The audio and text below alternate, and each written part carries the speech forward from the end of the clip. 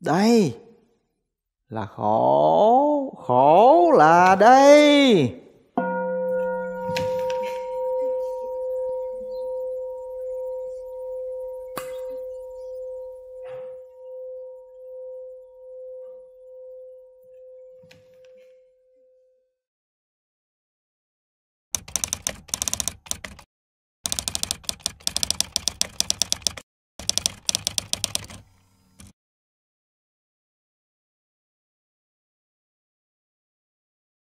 Kính lễ đức thế tôn. Bậc a la hán chánh đẳng giác. Kính lễ đức thế tôn. Bậc a la hán chánh đẳng giác. Kính lễ đức thế tôn. Bậc a la hán chánh đẳng giác.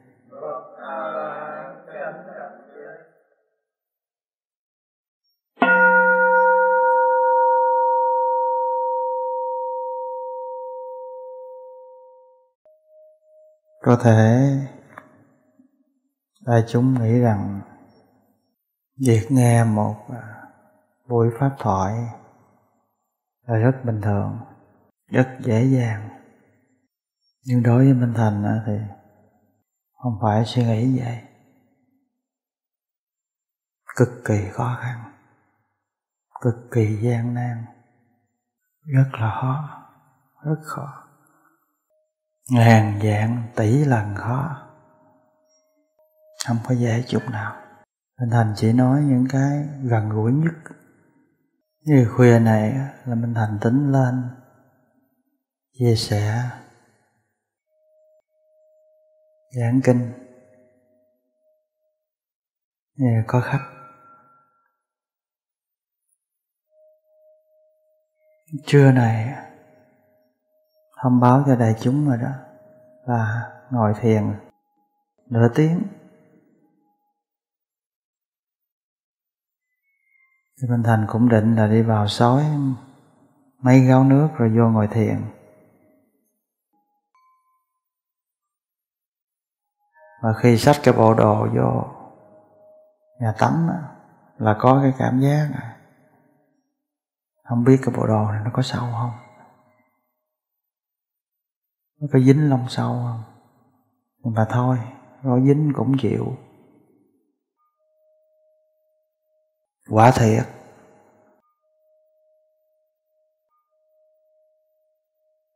Không biết cái khăn hay bộ đồ vừa lao mình xong mặc cho một cái rồi là rần rần hết. Nó đầy mình hết, đỏ từ trên xuống dưới hết.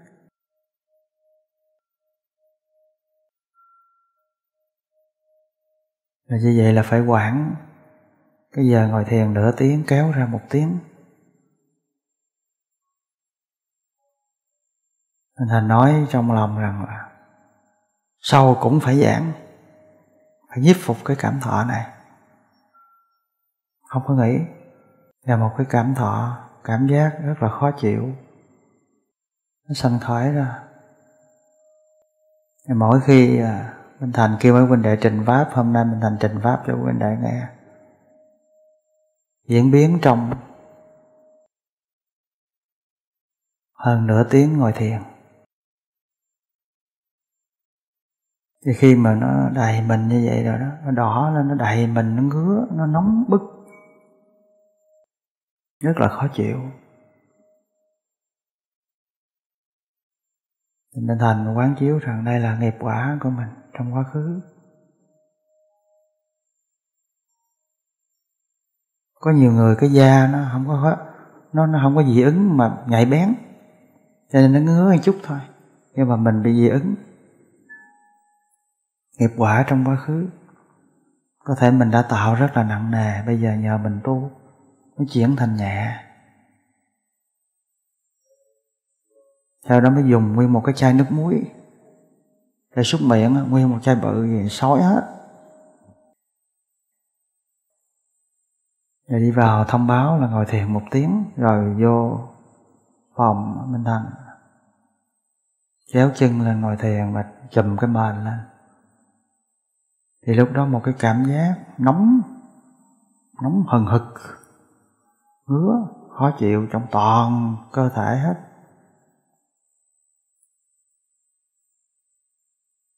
Cho nên thành quán chiếu. Nhắm mắt lại bắt đầu quán chiếu.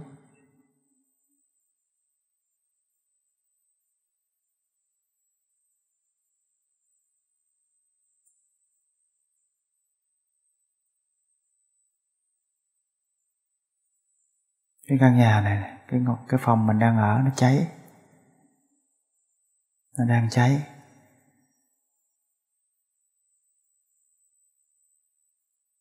Cháy, phật cháy lên rực cháy lên, cháy lan hết rồi nó táp vô mặt mình. Đầu mình bị cháy, mặt bị cháy, lưng mình bị cháy tay mình bị cháy, bụng mình bị cháy, chân mình cháy, toàn thân mình bị trong rực ở trong lửa cháy, đốt cháy, nóng nóng bức.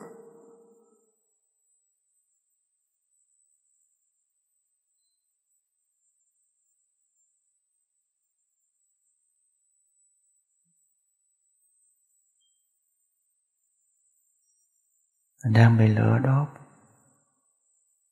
Lửa đang thiêu đốt cơ thể của mình. Nhà đang bị cháy. Phòng đang bị cháy. Chùa đang bị cháy. Và cơ thể mình đang bị cháy. Đầu cháy, mặt cháy, vai cháy, mình cháy. Lưng cháy, chân tay cháy hết. Và sau đó người ta đưa mình đi vô trong bệnh viện. Không còn ai nhìn ra mặt mũi mình là ai nữa hết. Không còn ai nhìn ra mình là ai nữa hết. Biến dạng. Cơ thể biến dạng. Biến dị biến hoại nó lỡ. Nó lỡ lét từ cái mặt đầu mình mình băng bó đầy hết, lỡ lét. Máu chảy ra. Mở tuôn ra. Nước vàng chảy xuống, đau đớn, quằn quại.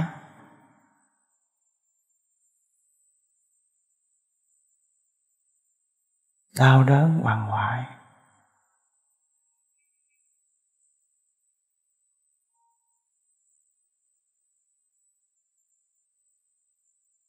Thống khổ là cái thân này. Khốn khổ là cái thân này. Đau khổ, hoạn nạn là cái thân này. Muốn có được một giây phút an ổn để tu hành, để học pháp, không phải là chuyện dễ.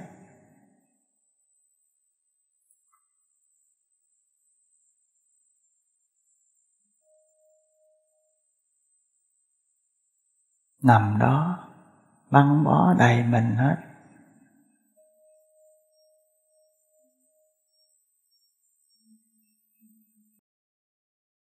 Ngồi không ra người, ngõm không ra ngõm.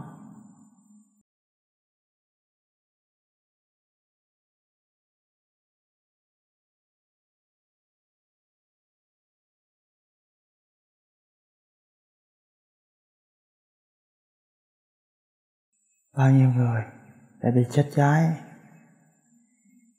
bao nhiêu đời đã bị thiêu đốt, bị đốt cháy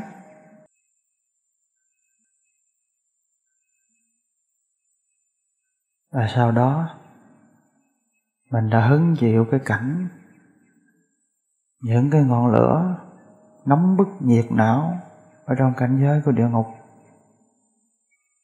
bị đốt. Đốt thiêu hoàng hoại trong cái cảnh giới của ngạ quỷ. Đói khát. Đói khát. Thiêu đốt. Mà bị ôm cột đồng. Cháy đỏ, rực lửa. Mình bị nhúng vô những cái chảo dầu. Dầu sôi ủng ục mình ở trong đó, mình chịu khổ.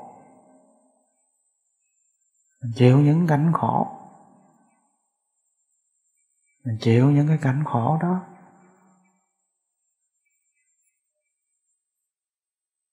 Mình đã chịu những cái cảnh khổ đó trăm lần, ngàn lần, mười ngàn lần, năm chục ngàn lần, một trăm ngàn lần, một triệu lần một tỷ lần, một ngàn tỷ lần. Trong sự thiêu đốt bị đốt cháy, trong ngọn lửa của địa ngục ngạ quỷ súc sanh. Mình đã bị thiêu đốt trong những ngọn lửa xăng, dầu, bếp ga, điện chập. Mình bị đốt ở trong rừng chết quang trong rừng. Những cái bộ xương, những cái thân thể bị chết cháy, đen. Mà khi ta phát hiện ra ta không biết là ai. Đó là những tấm thân quá khứ của mình. Và yeah. mình đã từng là những kẻ đầu bù tóc rối ăn mặc rách rưới ở trần, ở chuồng. Vừa nói vừa cười một mình đi lang thang ở ngoài đường. Mình đã từng là những kẻ điên khùng, điên loạn, điên dại, điên cuồng.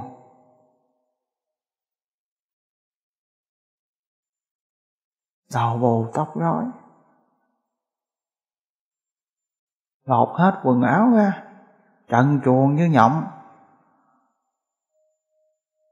vừa đi vừa ca, vừa la, vừa hát trên ngoài đường. Mình đã từng đã từng sống trong những cái cảnh như vậy. Mình đã từng đã từng rất nhiều lần là những kẻ tâm thần điên loạn, điên khùng, điên cuồng, điên dại.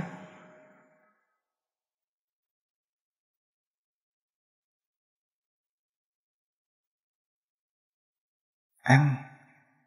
Những đồ dơ bẩn.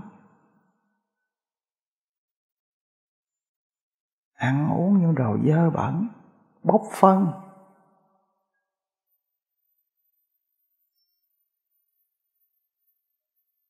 Bốc những cái thứ dơ bẩn nhất ăn. Không nhìn ra được người thân mình, cha mẹ mình là ai. Đã từng. Vô lượng kiếp là những kẻ điên khùng, điên loạn.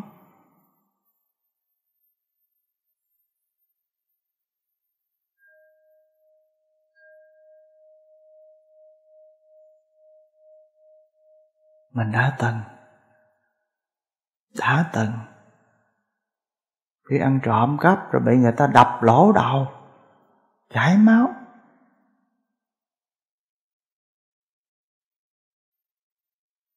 Chặt tay chặt chân của mình. Tù tội. Tù tội. Mình đã từng. Đi ăn trộm, ăn cướp. Ăn cắp.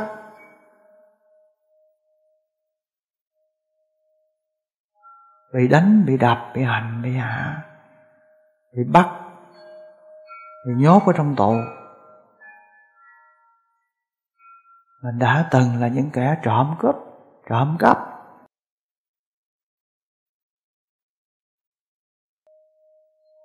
Trong những kiếp vừa qua mình đã từng là những cái kẻ mình đi giết giết người. Mình đã từng vì cái lòng sân hận, thù hận, ganh tị, ganh tức, ghét, ganh sân hận mình giết người. Giết người.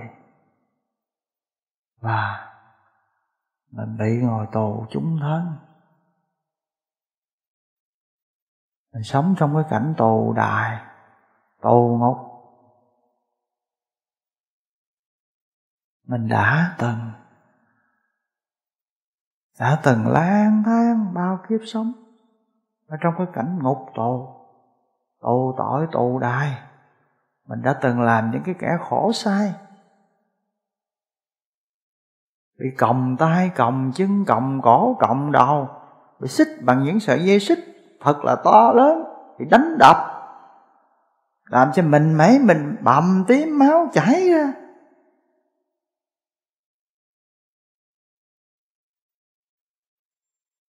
Mình đã từng bị hành hạ như vậy đó. Trăm lần, ngàn lần, trăm ngàn lần.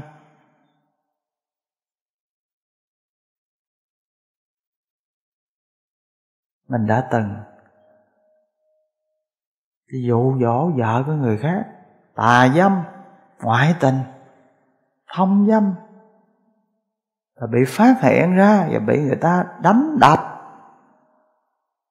Đánh đập. Ngoại tình với vợ, với chồng người khác. Bị người ta đè đầu xuống, người ta cắt tóc ta cạo chọc đầu ta tạt axit vô vô người, vô mặt. Mình đã từng trăm kiếp ngàn đời, tà dâm, tà hạnh trong các dục.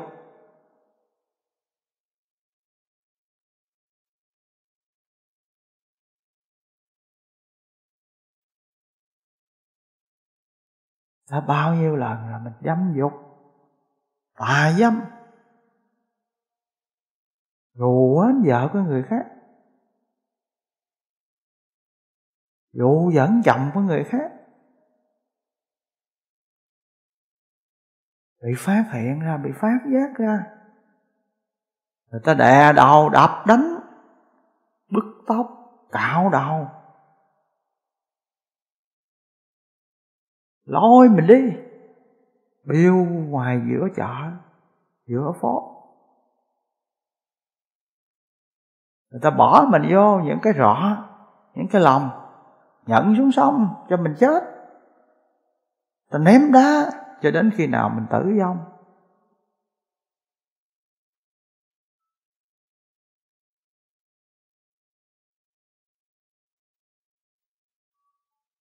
Nước mắt mình đã chảy xuống.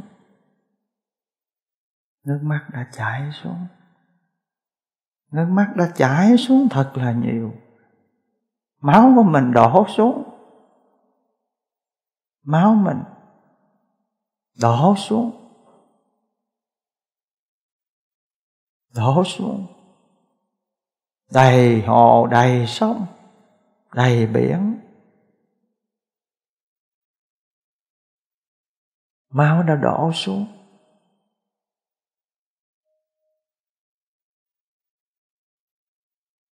Thân thể của mình bạm dạp tan nát. Trước những cái cột mà đánh ghen tức.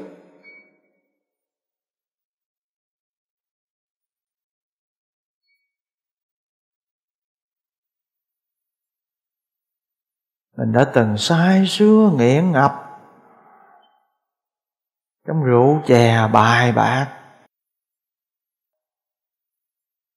Mình đã từng bị sai xưa trong những chất nghiện, ngập mình điên, cuồng, giết cha, hại mẹ.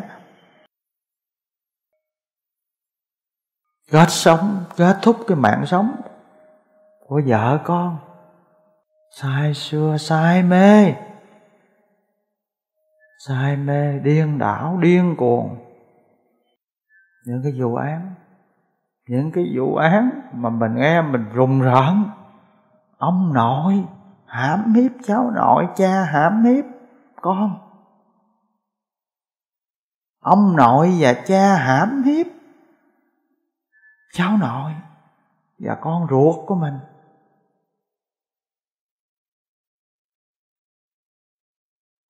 Không phải một vụ.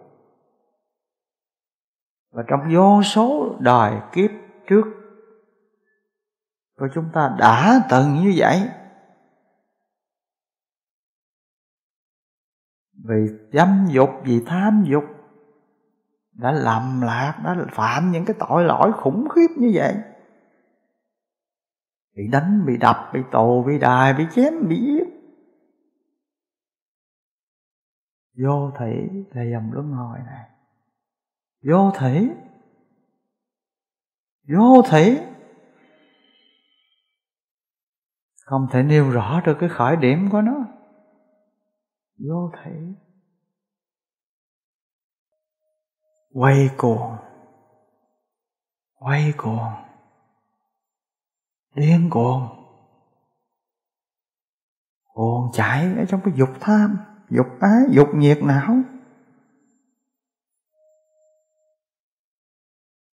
Vô thủy là luân hồi này này các tỳ kheo, khởi điểm không có thể nêu rõ đối với sự lưu chuyển luân hồi của các chúng sanh, thì vô minh che đậy bị tha mái trói buộc. Các ông nghĩ như thế nào, này các tỳ kheo? Cái gì là nhiều hơn? Dòng nước mắt tuôn chảy cho các ông than van khóc, lóc. Phải hội ngộ với những gì không ưa và phải biệt ly với những gì mình thích. Các ông phải lưu chuyển luân hồi trong thời gian này.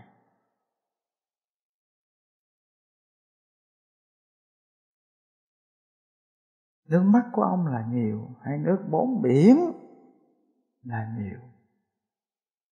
Và thế tôn, như lời thế tôn thuyết pháp, chúng con hiểu rằng dòng nước mắt tuôn chảy do chúng con than gian khóc lóc phải hội ngộ với những cảnh không ưa. Phải biệt ly những cái gì mình ưa thích. Khi phải lưu chuyển trong dòng luân hồi, thời gian dài này, chứ không phải là nước trong bốn biển là nhiều. Lầm thai lầm thai các tỳ kheo, các ông đã hiểu như vậy, pháp do ta dạy.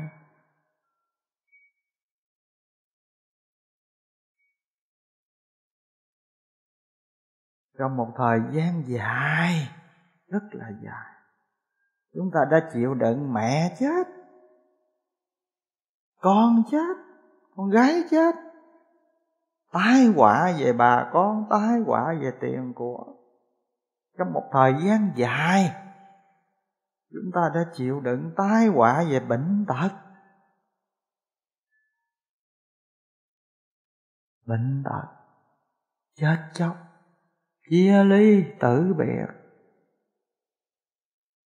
Sầu bi khổ não. Cái này là nhiều hơn là dòng nước mắt tuôn chảy mà các ông đã gian than khóc lóc.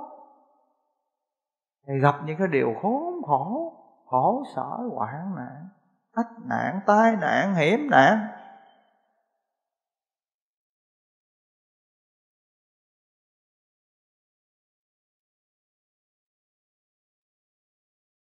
Cho đến như vậy, thì các tỳ kheo là vừa đủ để các ông nhàm chán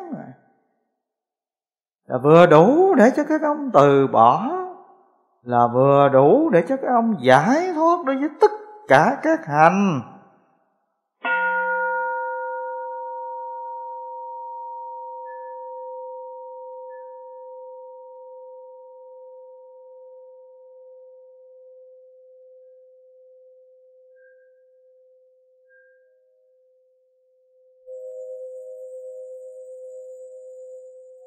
Là bao nhiêu đời sống trước của chúng ta?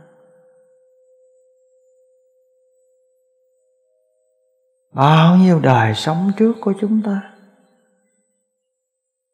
Đã từng nằm liệt giường, liệt chiếu. Về bệnh tật về bệnh hoạn về bệnh khổ nằm liệt một chỗ. Liệt một chỗ. Mỗi lần ngồi vậy phải có người đỡ, người nâng. Và đúc một cái ống, đổ thức ăn vô. Đổ thức ăn vô cái ống.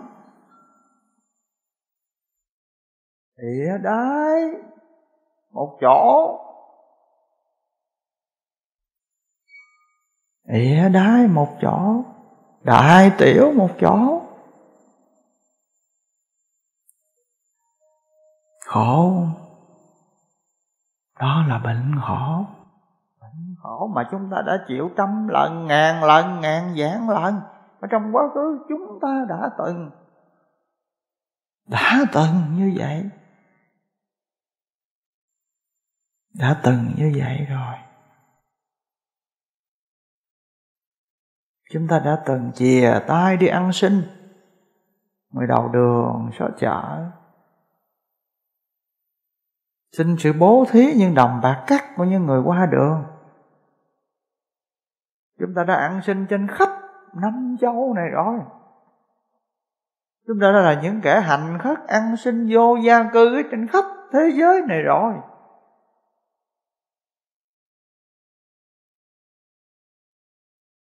Nó làm ăn sinh một ngàn kiếp rồi.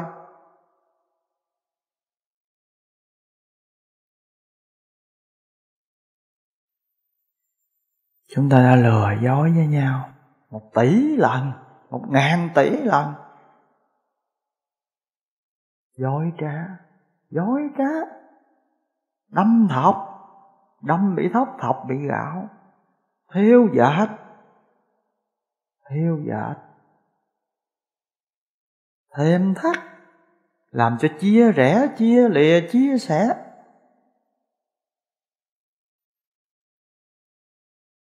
Chúng ta đã làm khổ cho chính bản thân mình và cho người khác bao nhiêu lần? Khổ như vậy đủ chưa?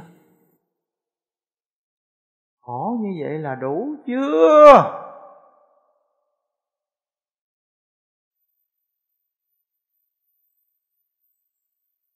Khổ như vậy. Là đủ chưa?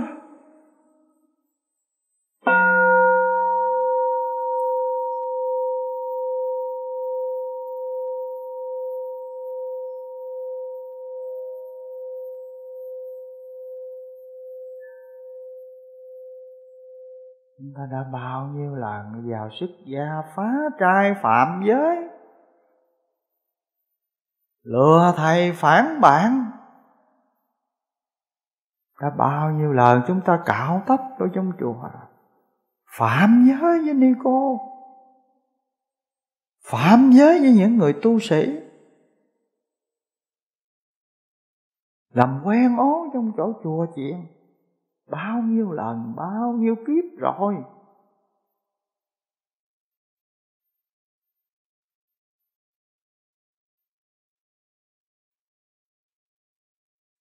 Dâm dục. Ở trong chốn thiền môn. Lừa gạt dối trá. Che đậy. Trăm lần ngàn lần giảng kiếp rồi.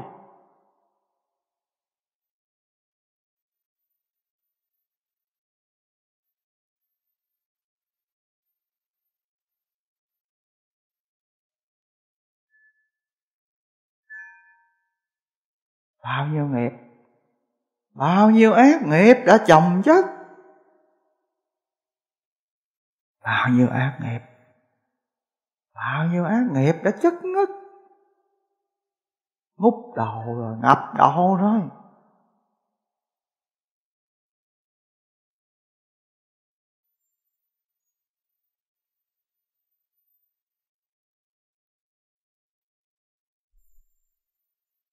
bao nhiêu lần? Bao nhiêu lần? Chúng ta đã bị tai nạn giao thông. Cán nát cái đầu.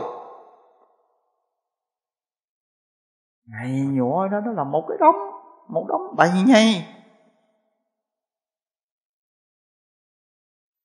là thịt, là da, là mỡ, là xương, là những cái nhúm tóc văn tứ tung là ốc. Là não. Là những đóng thịt. Là máu. Kia là một cái cái bàn tay, một cái cánh tay. Đằng nọ là một cái cái chân. Rồi ở đằng kia là cái lỗ tai. Một đống một đống bậy nhầy đó. Một trăm đống, một ngàn đống, mười ngàn đống thịt. Đã bao nhiêu lần rồi?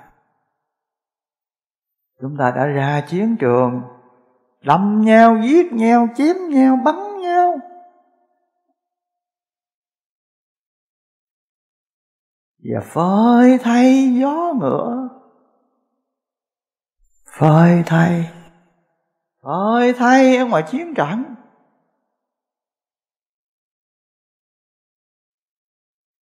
Không còn ai nhận ra được là cái gì, là ai nữa. Tên tuổi mặt mũi. Phơi cái thầy đó. Và những cái thầy mà phơi ra như vậy đó những cái bộ xương đó mà chồng chất từ lúc trong cái dòng luân hồi này đó mà chồng chất lên thì cái đống xương đó đó là cao hơn đỉnh Everest. Cao hơn tám ngàn mét cách mặt nước biển. Những cái đống xương mà chúng ta đã từng bỏ ra, từng chết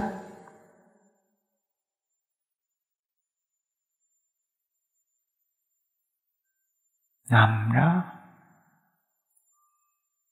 Nằm đó.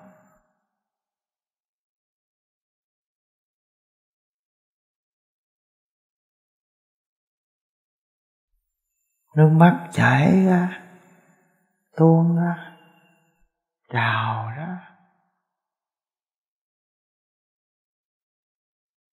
Làm sao mà chúng ta có thể nhìn thấy được những điều đó?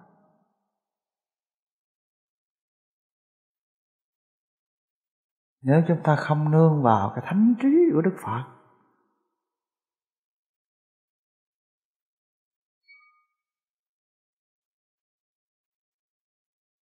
cứ dần già dần già ngày này rồi qua ngày kia, tuần này rồi qua tuần nọ, tháng này rồi qua tháng khác. Tham dột sân hận si mê bản ngã ganh tị đố kỵ.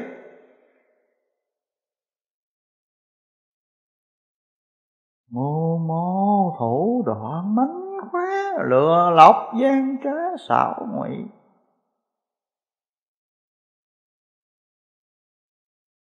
Mà không biết không biết không biết cuộc đời này là khổ.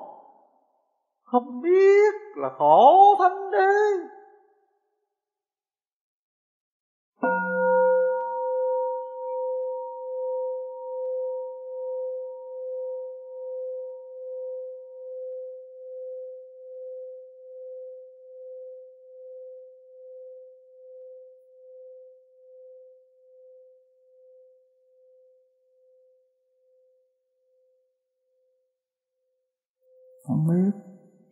Mù mù lòa, không thấy, không biết.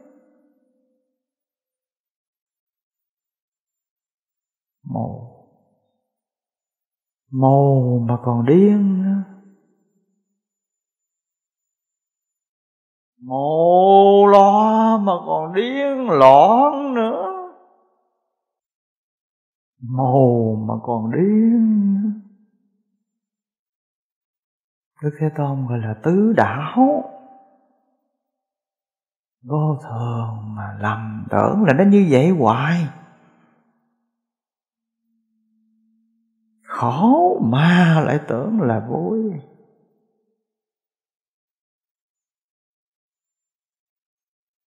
Vô ngã, Trống rỗng Mà lại tưởng là có cái ta.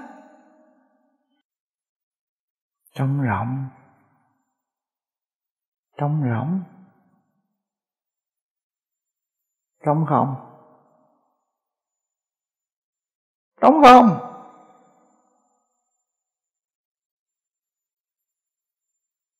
Trống trơn. Trống trơn, ở trong cái trống thịt này là trống trơn. Ở trong cái bong bóng này nè. Cái bong bóng hơi này là trống trơn, trống rỗng, trống không?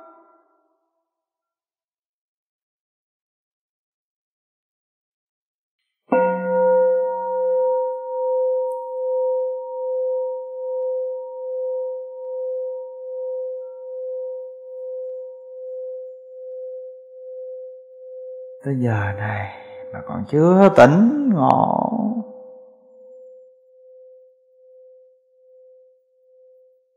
Tới giờ này mà cứ mãi đam mê, bám chặt vô cái tôi này, cái tôi ảo tưởng này, không thấy nó là khổ này các tỳ kheo, ta và các ông lưu chuyển thật là lâu ngày, thật là lâu dài. Đau khổ.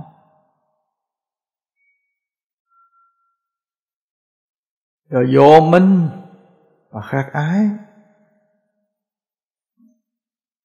Không có thực chứng được tứ thanh đế. Không có thật sự thấy rõ được cái bản chất tứ đại ngũ quẩn đời sống này là khổ đau. Không thấy được cái nguyên nhân để hình thành cái đau khổ này.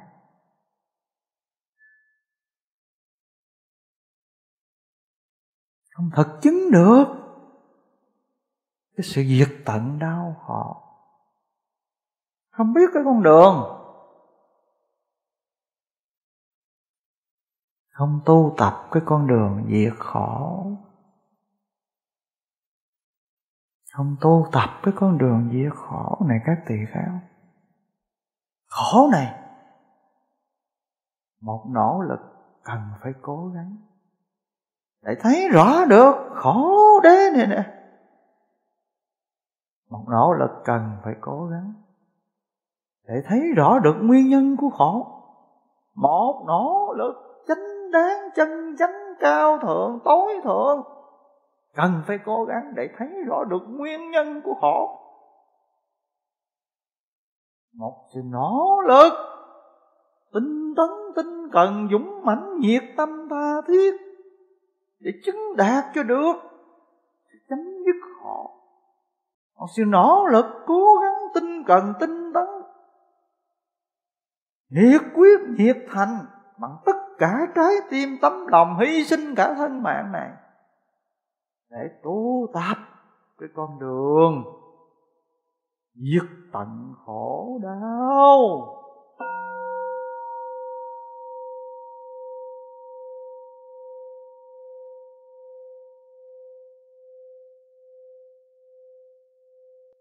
Đó là 30 phút thiền quán của Minh Thành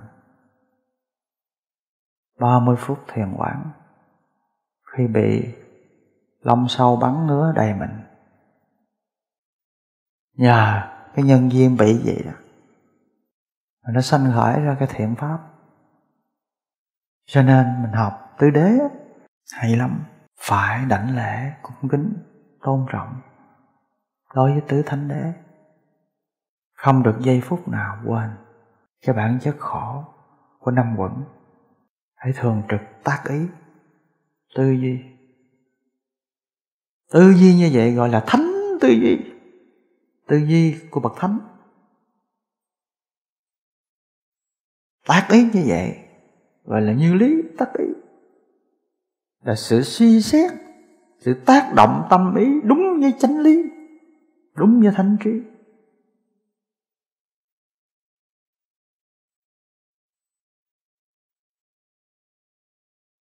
Hỏi lên cái sự thấy biết như vậy, đó là sức mạnh của trí huệ, đó gọi là tuệ lực tuệ lực, tinh tấn lực, quyết trạch lực, tư sát, thẩm sát lực, sức mạnh của tư sát. Sức mạnh của sự quán chiếu, sự tư duy để mà xuyên thủng cái khỏi vô mình quận xuyên thủng cái dục tham ái, sân si bản ngã cuộc đời này. Về kinh, cần phải liễu tri hay là thắng tri? Tương ứng bộ kinh tập năm này các tỳ kheo có bốn thánh đế này. Bốn thánh đế là gì? Bốn chân lý mà bậc thánh, giác ngộ, chứng ngộ, liễu ngộ, đại ngộ.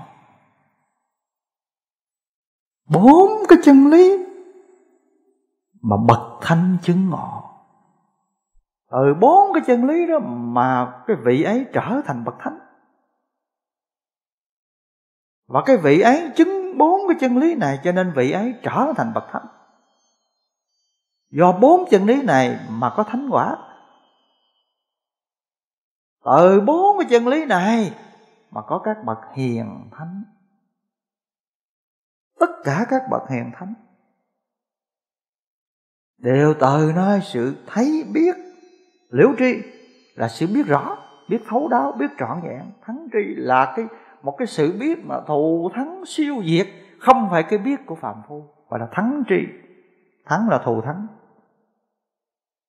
Là đặc biệt, đặc thù. Là siêu diệt cho nên cái biết này không phải là cái biết của phàm phu hạ liệt, bình thường, thấp kém. Mà cái biết này là cái biết của bậc thánh, của bậc giác ngộ cho nên gọi là thánh đế. Thánh đế chỉ đế là chân đế, là chân lý. Là vững chắc chắc chắn, không có sai khác.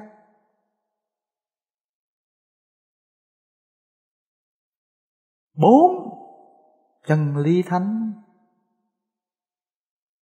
Bốn cái sự thật vĩ đại mà thánh nhân chứng ngộ chứng đạt, chứng đắc, chứng đạo. Hãy đội nó trên đầu, hãy lại cái bốn cái chân lý này hãy thờ bốn cái chân lý này hãy sống, ăn, ngủ. Nói nín với bốn cái chân lý này. Hãy cảm giác về bốn cái chân lý này. Hãy nghĩ tưởng về bốn cái chân lý này. Hãy nhận thức về bốn cái chân lý này.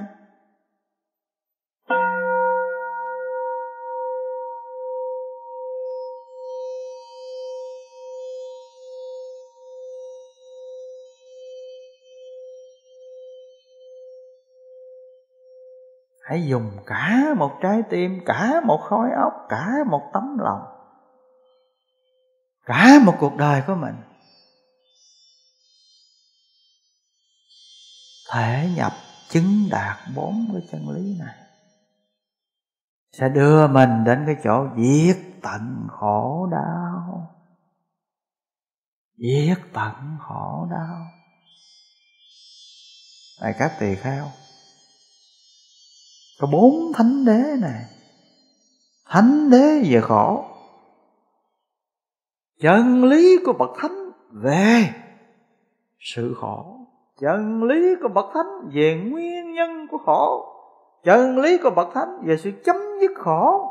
Và chân lý của bậc thánh về con đường đưa đến diệt tận khổ đau. Bốn cái chân lý tối thượng. Trong bốn chân lý bậc thánh này thì các tỳ kheo, có chân lý bậc thánh cần phải liễu tri, cần phải thấu triệt. Có chân lý bậc thánh cần phải đoạn tận chấm dứt. Có chân lý của bậc thánh cần phải chứng ngộ và có chân lý của bậc thánh cần phải tu tập. Và này, các tỳ kheo, thế nào là chân lý của bậc thánh cần phải thấu triệt, cần phải thấu rõ, cần phải liễu tri? Chân lý của bậc thánh về sự khổ cần phải thấu suốt, thấu triệt, thấu rõ, liễu tri. Chân lý của bậc thánh về cái sự khổ này nè, là cần chúng ta phải nỗ lực cố gắng để làm cái gì? Thấu rõ nó phải thấu rõ cho được cái sự khổ ở trong tứ đại ngũ quẩn này. Điều đó là điều một cố gắng cần phải làm để rõ biết đây là khổ. Đó là điều nên cố gắng, cần cố gắng, phải cố gắng và quyết định hãy cố gắng làm cho bạn được. Bạn được cái gì? Biết một cách xác quyết, chắc chắn, quyết định. Ơn tặng thấu triệt. Khổ thanh đế chân lý về sự khổ đau. Có ai lại ngờ rằng một cái khăn lao hay là một cái bộ đồ mặc vô thì nó sưng cùng mình, nó ngứa cùng mình? Có ai lại ngờ rằng đi ăn một cái miếng gì đó mà xong rồi ngộ độc? Thực phẩm và đi cấp cứu, thậm chí là chết. Vừa rồi có một đứa bé, nhà nó có cái vườn, mẹ đi vắng, nhà nấu cơm, nó ra nó nhìn thấy mấy cái nấm, nó nhổ vô nó bỏ vô nấu ăn. Ăn xong rồi hai mẹ con đi vô bệnh viện á, nhập viện cấp cứu. Nấm có độc.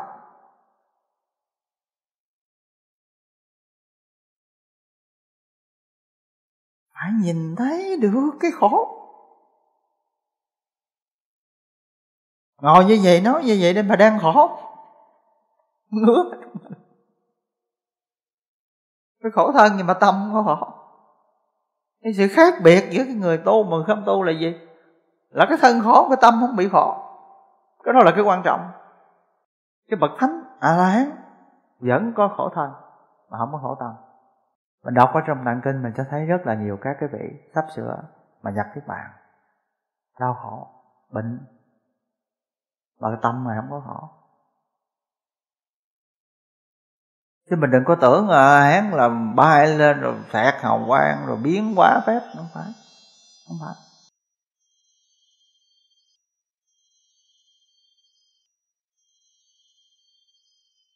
Đó là cái ngọn cái gốc của bậc a la hán là gì? Là xuống dưới đây mình sẽ thấy. Là chân lý của bậc thánh. Về. Nguyên nhân của đau khổ cần phải đoạn tận chấm dứt dứt hết. Đó chỗ đó đó là chỗ quan trọng để xác định. Tức là những cái nguyên nhân gì mà làm phát sinh ra khổ những nguyên nhân ấy bị đoạn tận đoạn diệt chấm dứt.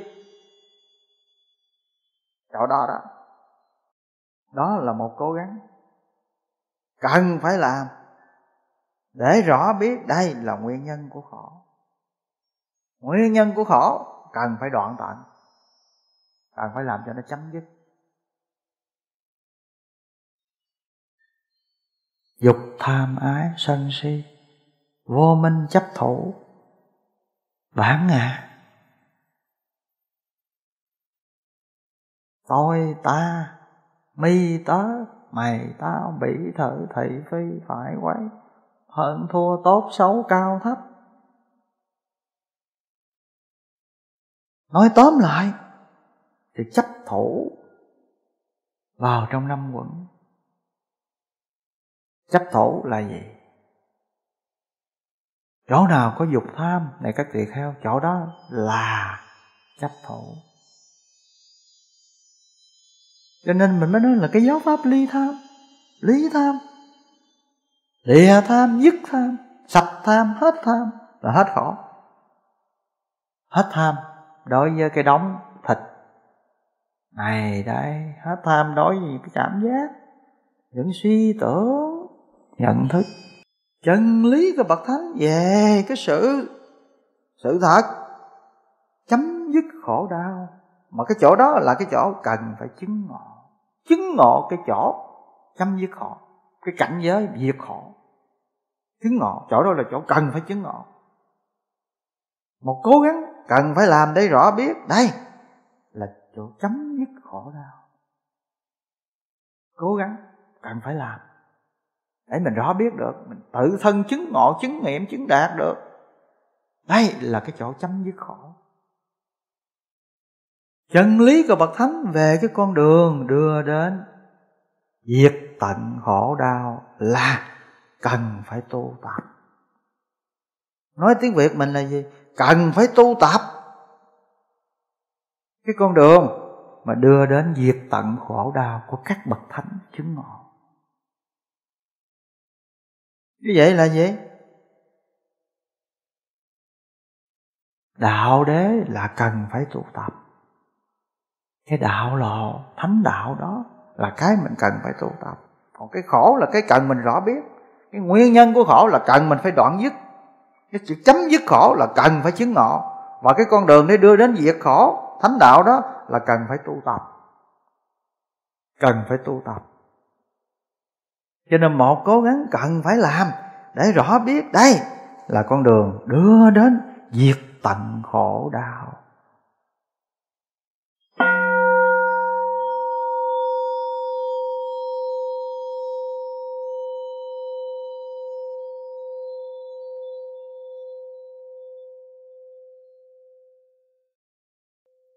Hãy dồn tâm, dồn sức của mình, đặt hết tâm của mình vào cái thánh đạo. Vào cái sự nghe pháp, học pháp, hành pháp, chứng ngộ pháp.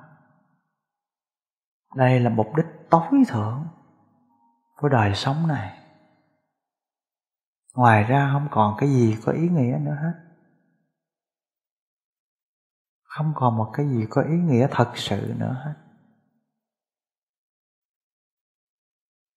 Tuyệt vời lắm. Tuyệt vời lắm. Vi diệu lắm.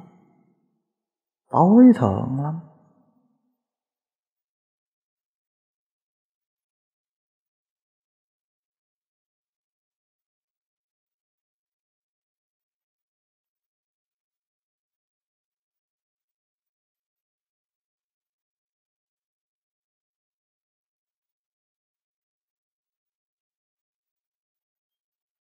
Mời Pháp từ phát biểu cảm nhận.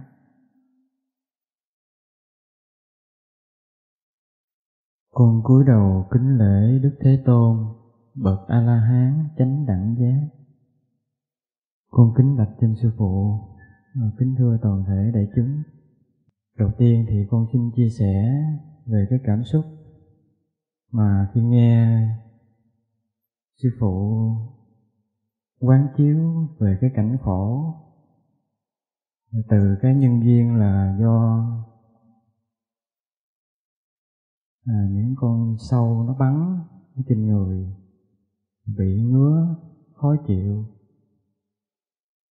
không phải sâu bắn nó dính mấy cái lông sâu ở trong quần áo dạ yeah.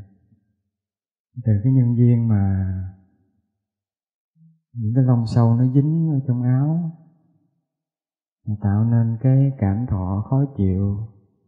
Và cũng nhờ cái nhân viên này mà con uh, nghe được những cái phép quán rất là thực tế mà à, làm cho con sanh khởi được cái cảm thọ. Và khi mà con nghe sư phụ quán về những cái hình ảnh mà người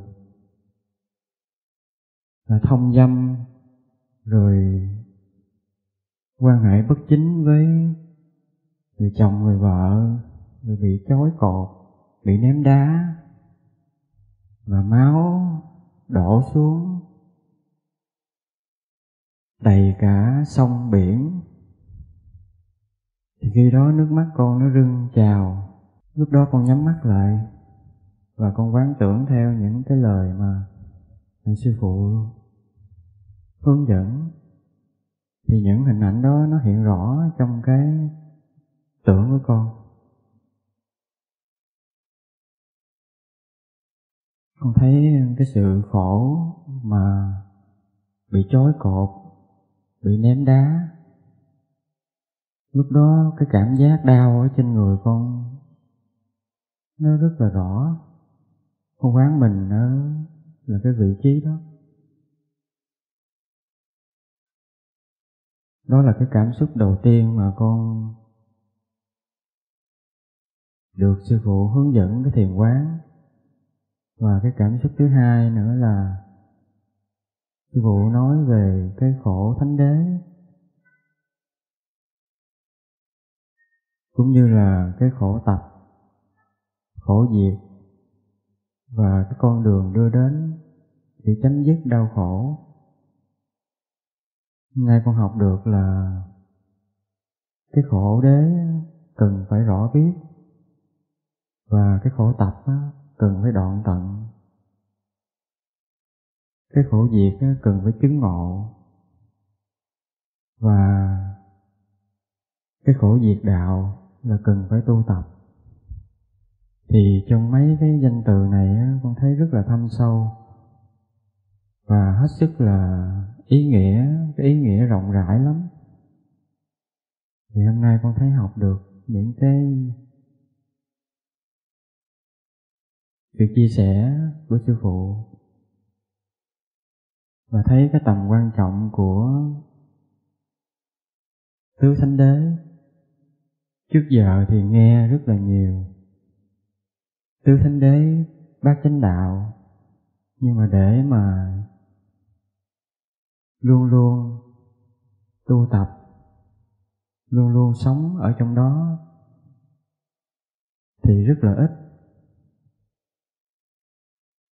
Bởi vì con thấy rằng là do thiếu cái sự nghe giảng, thiếu đi cái sự chia sẻ để cho hiểu sâu sắc về bốn cái thánh đế này.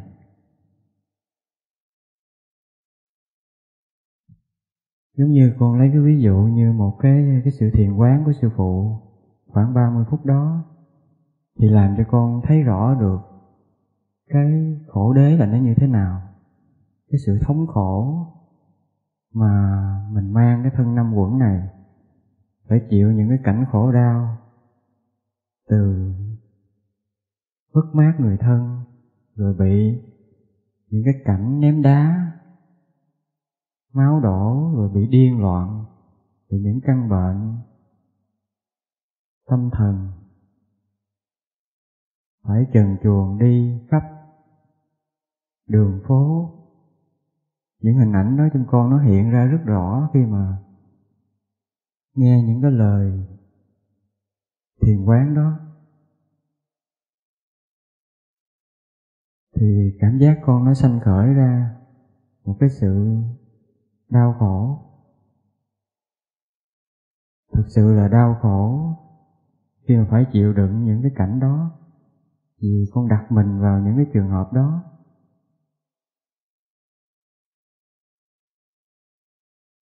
Nên ngày hôm nay con thực sự là tri ân trên sư phụ là đã cho bản thân con cũng như là các huynh đệ thấy rõ được một cách thâm sâu về bốn thánh đế trong cái sự hướng dẫn thiền quán của sư phụ mà bản thân con đã thấy được, nhất là cái khổ đế. Dạ nam mô bổn sư thích ca mâu ni phật. Tình hiếu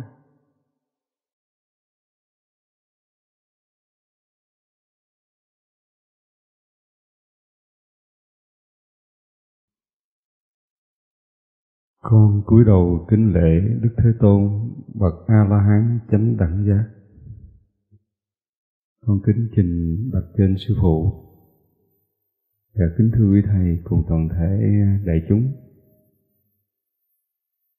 Trước tiên con xin chia sẻ cái cảm xúc của sư phụ cái khổ thọ mà trưa nay sư phụ phải nhận lấy là do những cái lông sâu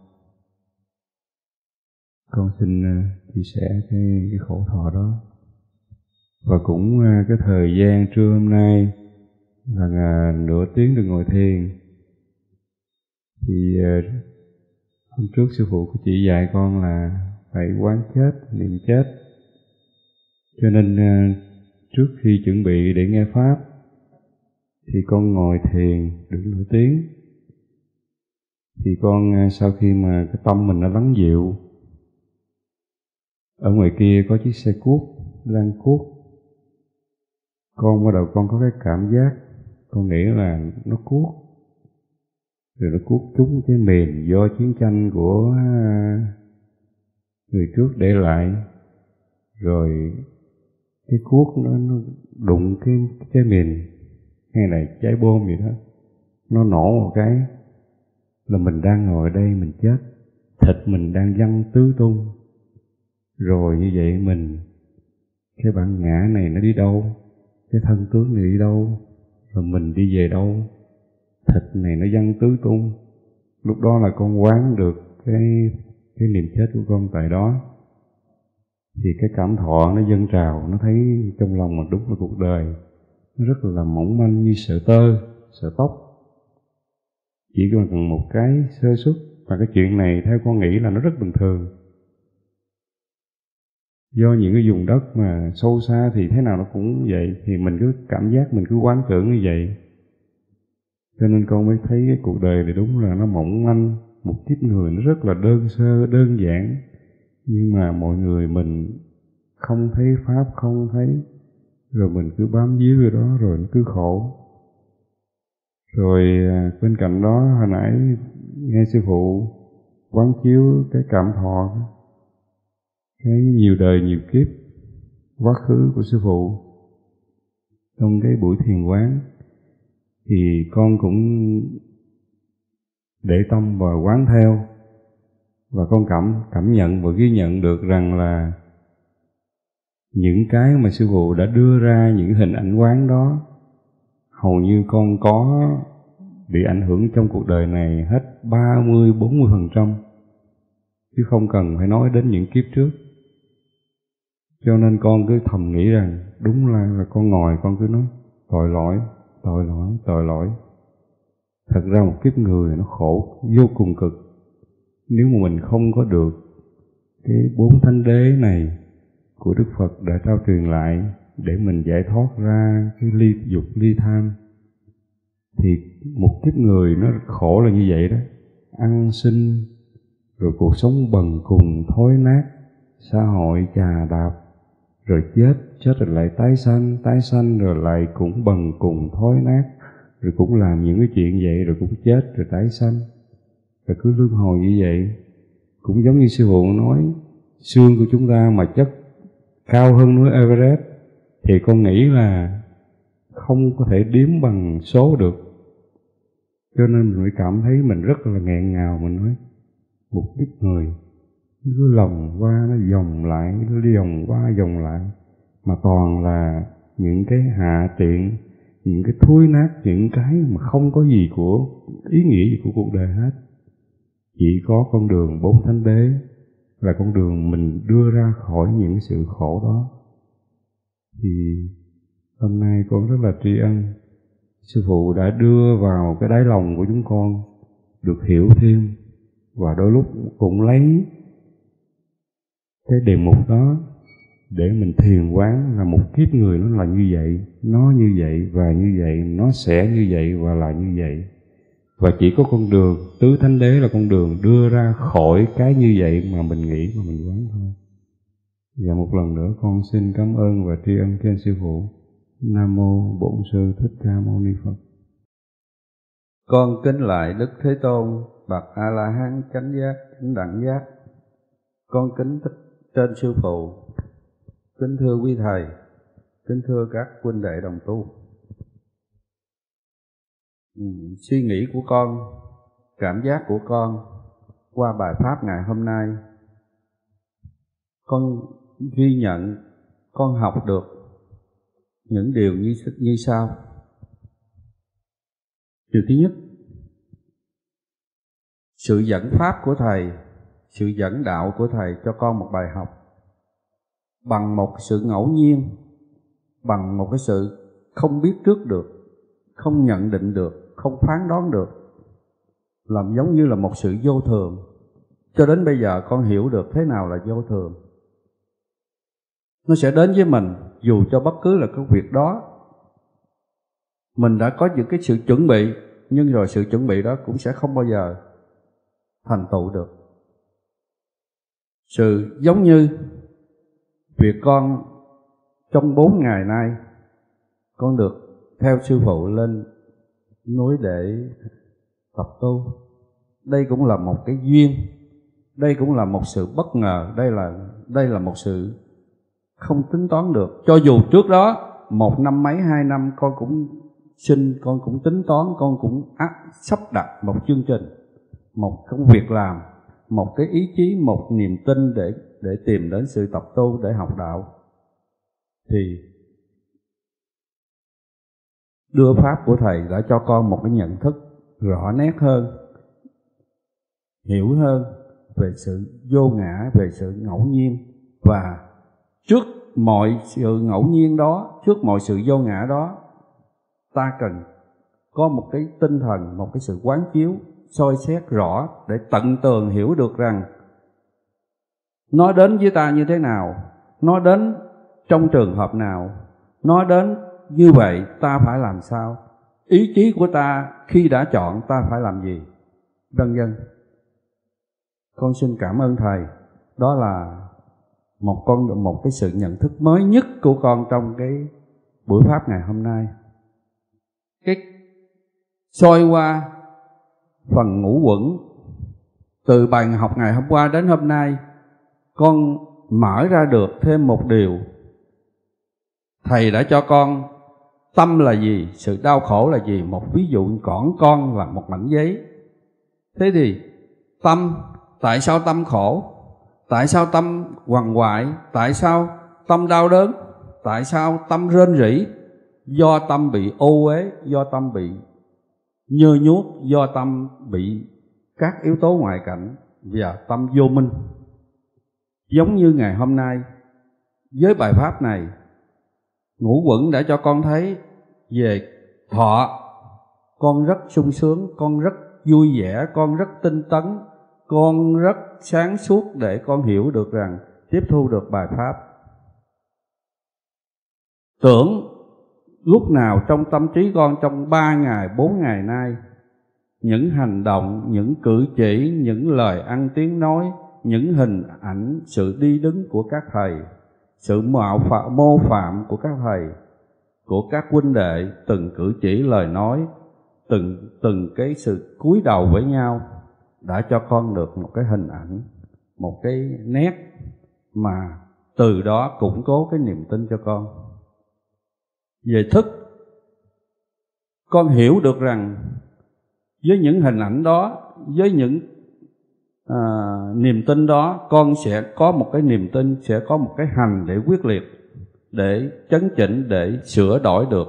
Vì thời gian con cũng có cảm nghĩ nó sẽ không còn xa với lứa tuổi này và với thời gian này thì không còn dài không còn nhiều để tìm được những cái sự an lành. Trước nhất là cho thân tâm. Thêm một bài học ngày hôm nay nữa. Thầy cho, thầy mở đường cho con. Cho dù rằng sự sơ khai trong vấn đề học đạo, sự hiểu biết về giáo lý của con chưa phải là nhiều, nhưng trong tứ thánh đế thầy đã mở cho con. Hiểu được tại sao là gọi phương pháp nào để để tâm đừng khổ, phương pháp nào để tâm trong sạch lại, để tâm không bị ô uế tâm bị ngủ quẩn, tâm bị khổ gì đâu. Vân vân. Thì với phương pháp tứ thánh đế, con đã hình dung ra, con đã hiểu ra khổ là gì. Phải diệt khổ như thế nào? Phải nhìn ra cái khổ ra làm sao? Phải diệt khổ như thế nào? Và phương pháp nào, con đường nào, sự dẫn dắt nào để cho ta đi trên cái con đường diệt khổ? Con tắt con xin thưa với thầy trong một thời gian ngắn sự uh, cố gắng con cũng sẽ hết sức. Con cũng sẽ cố gắng để mà uh, học hỏi và tu luyện. Và con rất chân thành cảm ơn uh, bài giảng pháp ngày hôm nay của thầy. Từ ngày hôm qua là của cái sự tâm đó, và hôm nay tới bài của tứ diệu đế con sẽ tìm hiểu sâu hơn, con sẽ cố gắng đọc sách, con sẽ trật trao dồi và xin nhờ các thầy quý thầy hướng dẫn thêm nội dung đi sâu hơn về của tứ thánh đế mô phật, con xin hết nam mô a di đà phật yeah. nam mô bổn sư thích ca mâu ni phật con kính bạch trên thầy các quý, sư phụ, các quý thầy và đoàn thể đại chúng uhm yeah.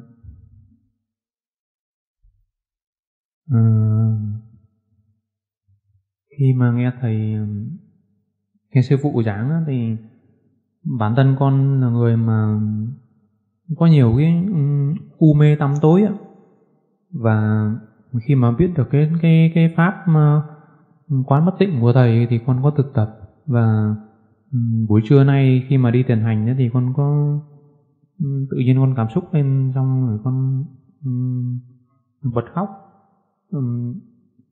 Vì từ từ lâu lắm rồi từ bảy sáu bảy năm nay còn chưa bao giờ con có một cái giờ phút nó nó thanh thản mà cái đầu óc nó mát mẻ như như thế. Cái giây phút đấy um, khiến con có cái lòng xúc cảm mà muốn tri ân đến công đức đến của sư phụ.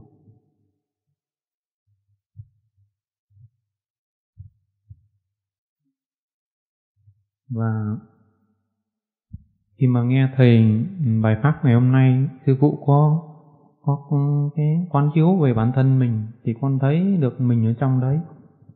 Những cái khổ đấy cũng có ở trong bản thân của con.